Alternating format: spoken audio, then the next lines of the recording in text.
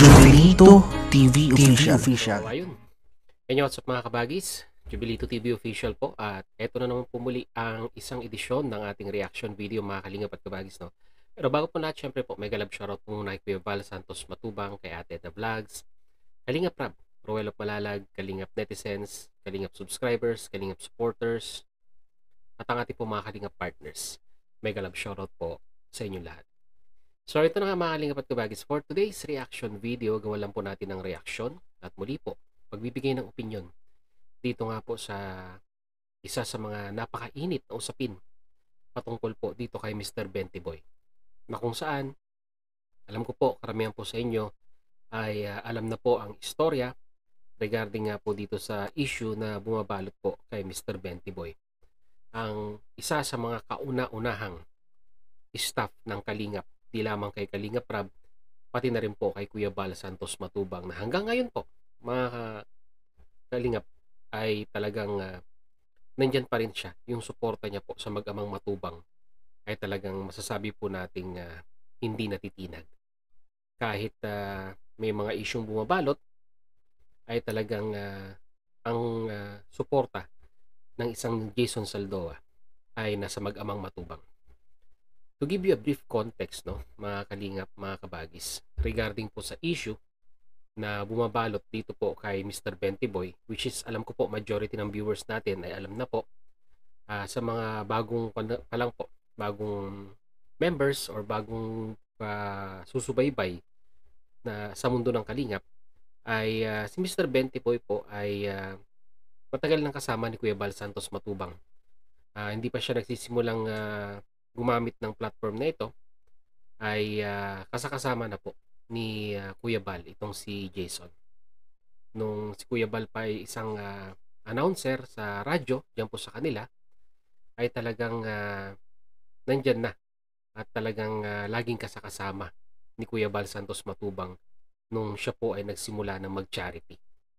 At nung naman pong si Kalinga Prab ay nagsimula na rin pong mag-vlog ay uh, inatasan ni Kuya Bal na ito nga pong si Mr. Bentiboy ay samahan si Rab sa kanyang uh, pagsisimula bilang isang charity vlogger nung mga time na yon.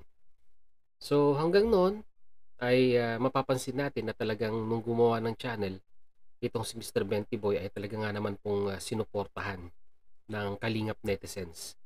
Na ngayon po ay may may ay may kulang-kulang na pong uh, kalahating milyong subscribers no may git 400,000 subscribers na po almost 500 na mga kalingap mga kabagis no at uh, yan po ay yung mga solid na mga kalingap netizens natin na sumusuporta po dito po kay Kuya Bal Santos Matubang at kay Kalingap Rab na inextend din nila yung suporta nila kay uh, Mr. Jason Saldoa or kay Mr. Bentiboy.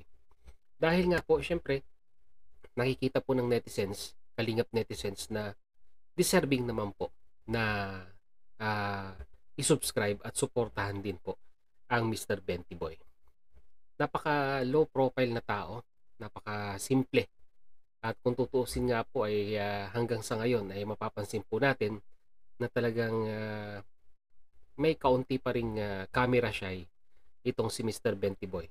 Which is, naiintindihan naman po natin dahil nga po uh, hindi naman po lahat ng individual ay masasabi po nating uh, komportable pong humarap sa camera. Pero ginagawa naman po ang uh, best Mr. Benty Boy na maging komportable na humarap sa camera para po mai-deliver niya rin naman po ng maganda ang kanyang mga ginagawang content. At ako, naalala ko yan uh, na itong si Mr. Benty Boy dahil nga po sa dinami-dami ng uh, beneficiaries ng uh, kalingap ay uh, yung mga iba dyan ay talagang uh, hindi na po nababalikan or hindi nagaanong napupuntahan na magamang matubang. Kaya nga po inassign ni Kuya Bal at ni Kalinga Prab itong sila Mr. Benty Boy sa mga mga naunang natulungan no ng mga kalingap. Nandyan sila Bombay Sisters, nandyan si Ma'am Luz at uh, Casey si Rubilin, kung po ako nagkakamali, si Rubilin kasama diyan dahil madalas naman pong kasakasama ni Mr. Benty Boy si Rubilin at uh, correct me if I'm wrong, si Mr. Benty Boy rin po ang ah, naka-scout dito po kay uh, Rubilin. Siya ba? Ilagay nyo nga sa comment section mga kalingap kabagis. Parang pan eh, nalilito tayo. Siya ba o si Super Mac? Di lang po ko sure. Ilagay nyo po sa comment section mga kalingap. No? So, yun na nga. Uh, inatasan siya na pasyalan, kumustahin, at i-vlog na rin po no, para may content itong si Jason regarding nga po sa mga beneficiaries na hindi na pong gaanong uh, nababalikan ng mag-amang matubang. At alam ko po sa mga kalingap netizens na sinuportahan din ninyo si Mr. Benty Boy sa kanyang mga pagbisita sa mga natulungan po ng kalingap. Marami po ang natutuwa dito dahil nga po talagang masasabi po natin na uh, ini-extend talaga ng mag-amang matubang yung pagtulong sa kanilang beneficiaries by means of assigning si Kuya Jason dito po sa mga subject nila. At nagtuloy-tuloy po ang pagtulong no, ng Team Kalingap sa mga beneficiaries na ito through the help of Mr. Jason Saldoa or si Mr. Benty Boy. At kumakailan lang, mga Kalingap, ay uh, alam naman po natin na nabalot ng issue si Mr. Benty Boy dahil nga po uh, sabi ng iba na pinuputakti na po ng mga bashers ang mag matubang sa mga comment section ng kanyang mga video upload. To be specific, kung hindi po ako nagkakamali, sa mga video upload niya sa Bombay Sisters at kay uh, uh, Casey yata, kung hindi po ako nagkakamali. No? Correct me if I'm wrong again, mga kalingap, no? kung uh, uh, meron po tayong pagkakamali malaya po kayong i-comment yan sa ating comment section dahil si Jubilito TV official naman po ay uh, tumatanggap ng correction no dahil hindi naman po tayo perfectong tao. So ayun na nga. uh, nababash daw ang magamang matubang si Kuya Bal, si Kalinga Prab sa comment section at may mga nagsasabi na uh, pinupusuan pa daw ni uh, Jason yung mga comment Which is sa nakikita ko po, no, mga kalingap at kabagis, no. Ah, base po sa aking uh, personal na opinion diyan sa mga pagpuso-puso na 'yan. Uh, it is a way of uh, sabihin na nating uh, interaction between viewers and the content creator. Maniwala pa ako mga kalang uh, mga kalingap mga kabagis kung uh, isang negative comment tapos ni like.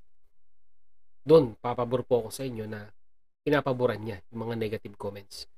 Pero yung uh, simpleng pagpuso sa mga comment is a way of, you know, appreciating uh, yung pagko-comment nyo po sa kanyang video upload. And at the same time, interaction between the content creator and at the same time po sa mga viewers. Yun po yung sarili ko pong interpretasyon dyan mga kalingap, mga kabagis. No?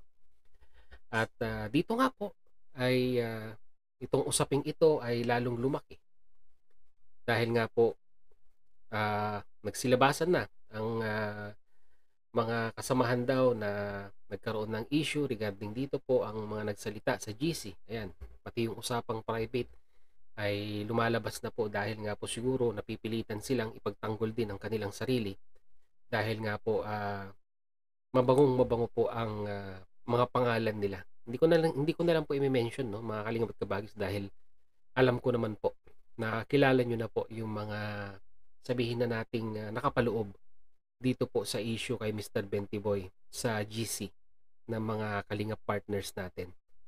At uh, sabi nga ni Kuya Bal Santos Matubang ay parang nag-left the group si Mr. Bentiboy sa GC pero kung uh, hindi po ako nagkakamali muli ay ibinalik naman po ni Kuya Bal Santos Matubang.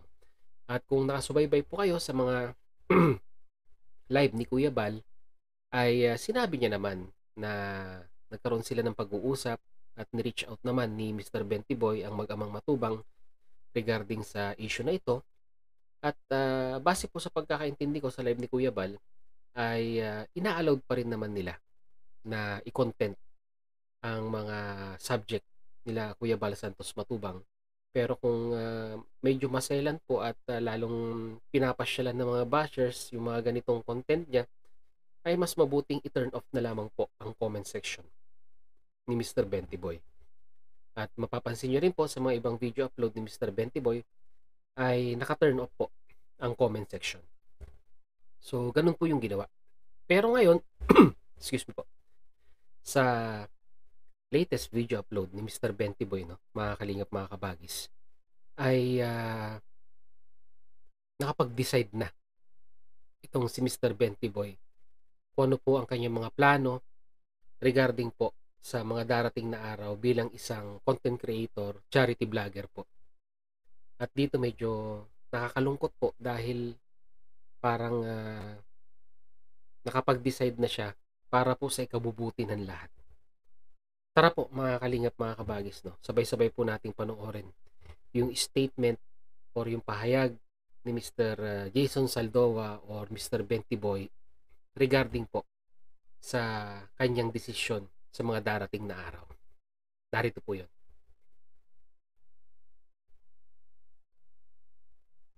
Ah, ginawa nila sa akin, halos tatlong araw po akong hindi makatulog.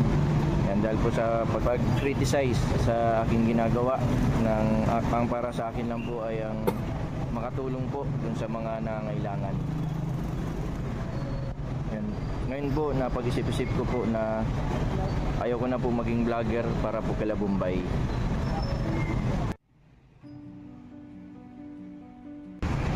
Yan isang mapagpalang araw po mga kalingap, mga kabente. Narito po ngayon sa sentro po ng Diet, sa Diet Public Market. Yan, kapibili ko lang po ng gamot kasi halos tatlong araw na po ako hindi makatulog.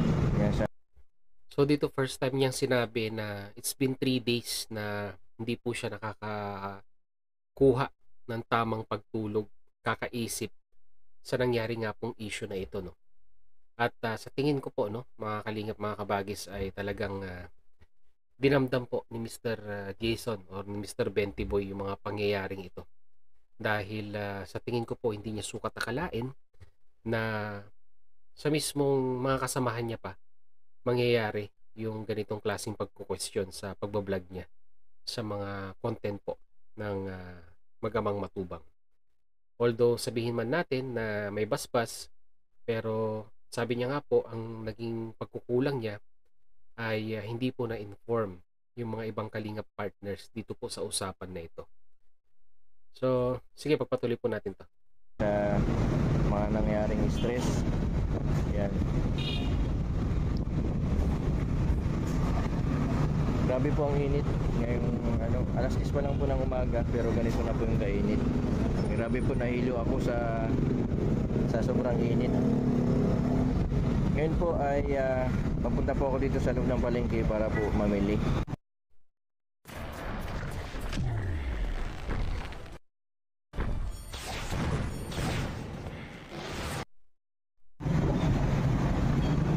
Yan po, tatlong araw na din po ako nag-aalala dun sa mga magkakapatid na Bombay, Madeline. Yan. Nakawa po yung sitwasyon nila, lalong-lalo na po na walang mga magulang, walang tatay, walang nanay. Si Shane na lang po yung nagsisilbi pong nanay at tatay nila. Pero yun yun mga kalingap at kabagis, no? Kasi po, ah, itinuring ng parang mga kapatid ni Mr. Benty Boy itong ah, Bombay Sisters. Na sa tinagal-tagal po ng panahon na pinapasyalan niya at tinutulungan, this will be the first time na talagang mahihiwalay si Mr. Benty Boy sa kanyang mga subject or sa mga subject ng mag-amang matubang na kanya rin pong tinutulungan. Nakakalungkot lamang po dahil nga po syempre ah ang hirap ng adjustment na ginagawa ni Mr. Jason, no?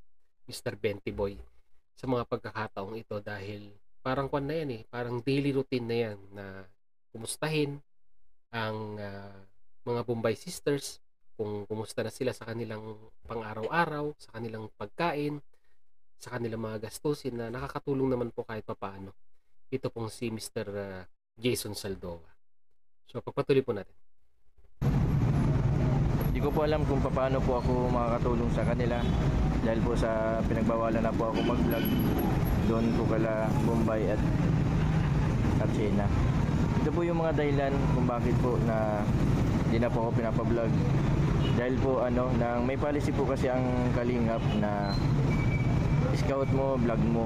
Kaya Which is parang ngayon ay talagang ah, wala nang exemption yung sinasabi ni Mr. Benty Boy na, na matagal na kasing rules yan mga kalingap mga kabagis no yung scout mo vlog mo pero nagkaroon naman po ng exemption dahil nga po syempre ay uh, pinayagan naman po ni Kuya Bal Santos Matubang at ni Kalinga Prab na i-vlog itong mga Bombay Sisters na ito at talagang uh, sinusunod na ni Mr. Benty Boy yung rules na yon nakakalungkot lang although sabihin natin may basbas pa rin na ipagpatuloy pero ito na yung final decision ni Jason na uh, sundin na yung rules na scout mo vlog mo para sa ikatatahimik ng uh, lahat no? At ikatatahimik na rin ng mga bashers.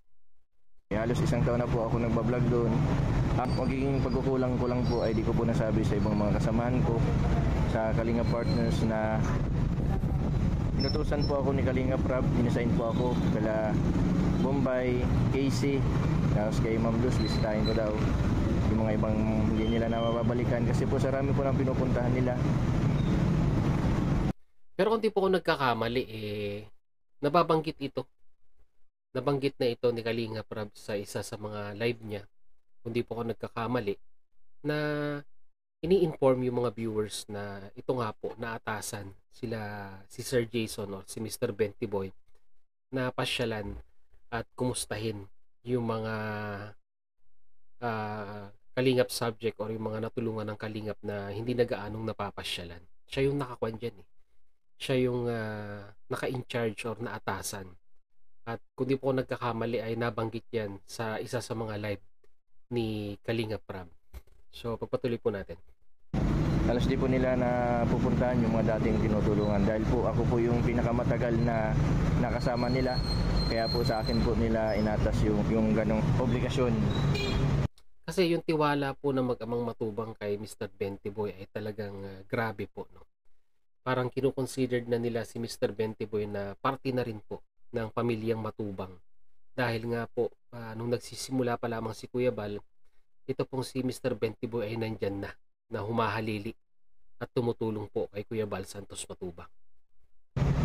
And para po sa akin uh, naghingi pa ako ng dispensa sa mga kasama ko sa kaling partners na naging ano po parang na-misinterpret po yung yung ganung sitwasyon na akala nila na binablog ko nagsusuway ako sa rules ng kalingap na scout mo vlog mo pero pinagtataka ko lang dito no mga kalingap mga kabagis no kung it's been a year na ginagawa na ni Mr. Benty Boy ito sa Bombay Sisters yung pagpo-content. Eh bakit lamang bakit ngayon lamang po na-erase yung question na iyon? Bakit kung kailan dumami po yung bashers ng mag-amang matubang ay bakit ngayon lamang po na-erase? Or bakit lang ngayon na-highlight yung issue na iyon? Yun lang naman po ang kwan dito eh. Yun lang naman po ang uh, pinagtataka ko at iniisip ko ring mabuti kung bakit ngayon lang. Ngayon lang sila nagtanong regarding po sa pagbablog niya sa mga subject po ng magamang matubang. Dahil po sa ginawa nila sa akin, halos tatlong araw po akong hindi makatulog. Nakakatakot po ito no, mga kalingap, mga kabagis natin. No? Uh, pati yung mental health ni Mr. Benty Boy ay naapektuhan po ng issue na ito. 3 days, hindi ka gaano makatulog. Ay talaga nga naman pong babagsak ang katawan mo niyan. At idagdag mo pa ang iniisip niya sa kalagayan ng kanyang nanay. Ang hirap po, mga kalingap, mga kabagis ng ganitong pinagdadaanan po ni Mr. Uh, Jason Saldoa. Yan dahil po sa pag-criticize sa aking ginagawa ng ang para sa akin lang po ay ang makatulong po dun sa mga nangailangan. Correct. Tama yung sinabi ni Mr. Benty Boy. No? The thing is, ang ganda ng intention nila Kuya Bal Santos Matubang na matulungan si Mr. Benty Boy at uh, matulungan din yung mga subject na hindi na po gaano napupuntahan dahil po sa sobrang busy at sa sobrang sobrang dami na rin po na natutulungan nila Kuya Bal Santos Matubang no. Maganda yung intention.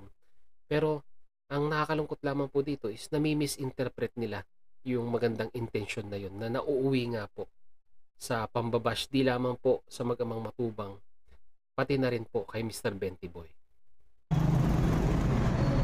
Yan. Ngayon po, napag-isip-isip ko po na ayaw ko na po maging vlogger para po kila Bombay.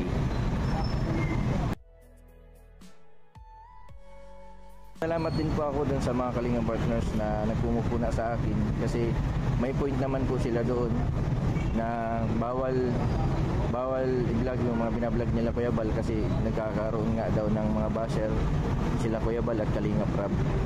Ngayon po, malaking tulong po yung ginawa nila. Papasalamat po ako sa ginawa nila sa sa akin. Kasi po nagkakaroon po ako ng idea idea para po kung paano po ma- matutulungan yung mga tinutulungan ko dati na walang magagalit. Hindi magagalit ang Kalinga partners, hindi magagalit yung mga ibang mga viewers, mga supporter ni Kuya Bal, sila Kuya Bal. Ngayon po, nakapag-desisyon na po ako. Magiging sponsor na lang po ako nila Shena, pati po dun kala Rubilin sa lahat po ng mga binablog ko dati para kahit po papano ay maramdam din po nila yung aking presensya kapag nag sponsor po ako. So yun no, sabi ni Mr. Bentiboy mag sponsor na lang siya. So ibig sabihin, hindi niya na i-vlog. Magpapaabot na lang siya ng tulong na hindi na po niya kukunan or hindi niya po bibidyohan. So nakakalungkot nandito, babagsak din ang kanyang views. And at the same time, babagsak din po ang kanyang revenue. By the end of the day, pag mababang revenue, eh paano ka pa makakapag-sponsor sa mga gusto mong tulungan? Plus isama mo pa sa isipin yung gastos sa pagpapagamot ng iyong nanay.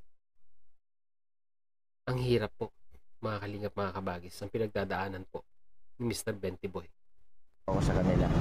Yan po sana iwasan po natin yung awayan, tampuhan at sigalot sa sa samahan kasi ang unang-unang maapektuhan yan yung kalingap. Kung ano po yung kasiraan po ng isa, kasiraan po ng lahat. Yan, hindi po Correct. masama ang magtanggap ng pagkakamali o pagkukulang. Bagkus, gawin po natin inspirasyon yun para pagsikapan po natin makagawa ng magandang content para panoorin po tayo. So yun no, mga kalingap at kabagis no, bilib na bilib ako dito kay Mr. Bentiboy dahil nga po in despite of uh, negative criticism na nare-receive niya di lamang po sa kanyang uh, mga fellow uh, kalingap partners pati na rin po sa mga bashers ay stay positive po siya. At uh, ginagawa niya itong uh, kasangkapan no para mas uh, mapabuti niya ang kanyang craft bilang isang charity vlogger. At kung mapapansin po ninyo si Mr. Bentiboy po ay uh, hindi po siya nagkikimkim ng uh, sama ng loob. Although siya po yung naging dihado po dito po sa pagkakataon na ito ay uh, nandyan pa rin siya na sumusuporta sa programa po nila Kuya Bal Santos Matubang.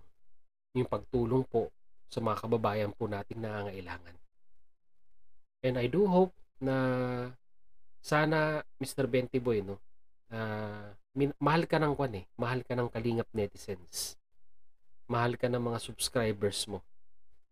Uh, huwag ka na lang magpa-apekto siguro para sa akin sa mga bashers.